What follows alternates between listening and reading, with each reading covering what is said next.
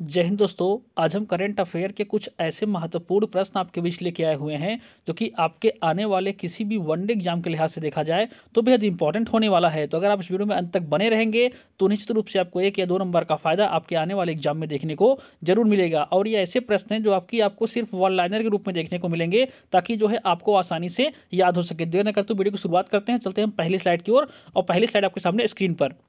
पहला प्रश्न आपका है कि, पहला प्रश्न आपका है कि पहला पॉइंट आप कह सकते हैं, प्रश्न कहकर के आप इसको पहला पॉइंट कह सकते हैं कि नोवान जोकोविच ने जहाँ दोस्तों नोवान जोकोविच ने 8 जनवरी 2023 को एडलेट अंतर्राष्ट्रीय पुरुष एकल का किताब जीत लिया है। जहाँ दोस्तों आपका पहला पॉइंट ये था बेहद ही इंपॉर्टेंट है पहला पॉइंट आपका, कई बार आपकी परीक्षाओं में पूछे जाने की संभावनाएँ हैं इसकी। अगला प्रश्न आपका है चेतन शर्मा को, जहाँ दोस्तों चेतन शर्मा को जो है सात जनवरी दो हज़ार तेईस को वरिष्ठ चयन समिति की अध्यक्ष के रूप में फिर से नियुक्त किया गया है, यानी कि जो ये बात हो रही है बीसीसीआई की।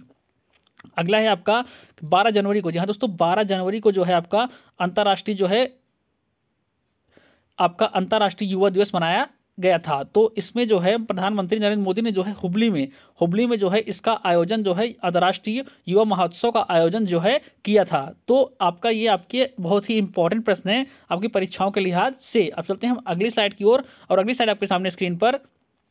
कि 11 जनवरी को राष्ट्रीय मानव तस्करी जागरूकता दिवस के रूप में मनाया जाता है। यह पॉइंट आपका बेहद ही इंपॉर्टेंट है। इस पॉइंट को आप आसानी से जो है नोट कर लीजिए ताकि आपको एग्जामों में जो है इसका फ़ायदा देखने को मिल जाए। अगला है आपका कि रोलर कोस्टर जहाँ दोस्तों रोलर कोस्टर ने एन अफेयर विथ बैंकिंग पुस्तक का विमोचन किया गया है। अगला है आपका कि ब्रिटेन, भारत और ब्रिटेन की सरकारों ने 9 जनवरी 2023 को यंग प्रोफेशनल स्कीम शुरू की है। जहाँ दोस्तों, अब आपसे क्वेश्चन पूछे कैसे कि यंग प्रोफेशनल स्कीम जो है किस देश द्वारा शुरू की गई है तो भारत और ब्रिटेन के द्वारा। अब चलते हैं हम अगली स्लाइड की ओर। अगली स्लाइड आपके सामने स्क्रीन पर।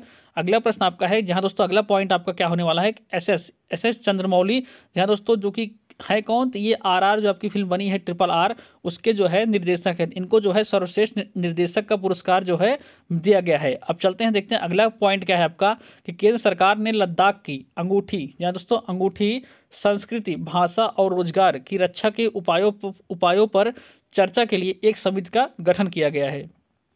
अगला पॉइंट आपका है कि 23 और 24 जनवरी 2023 को नई दिल्ली में एक सैन्य, टैटू एवं आदिवासी नृत्य उत्सव आदि शौर्य पर्व पराक्रम का आयोजित किया जाएगा। जहाँ दोस्तों आयोजित होने वाला है। अगला अगला पॉइंट आपको देख के बताते हैं। अगला पॉइंट आपको क्या होने वाला है कि 6 जनवरी को 6 जनवरी को विश्व युद्ध अनाथ दिवस मनाया जाता है। अगला प्रश्न आपका है कि भारत और फ्रांस ने नई दिल्ली में छत्तीसवीं स्मारिक वार्ता आयोजित की गई है। जहाँ दोस्तों अग, अगला पॉइंट आपका है कि स्पेन को स्पेन को जो है छियालीसवें अंतर्राष्ट्रीय कोलकाता पुस्तक मेले के थीम का जो है देश बनाया गया किसको बनाया गया है? स्पेन को। तो ये आपके ऐसे महत्वपूर्ण प्रश्न थे, जबकि परीक्षाओं के लिहाज से बेहद इंपॉर्टेंट होने वाले हैं। अगर आपको वीडियो पसंद आया हो तो चैनल को शेयर लाइक सब्सक्राइब करना ना भूलें। धन्यवाद।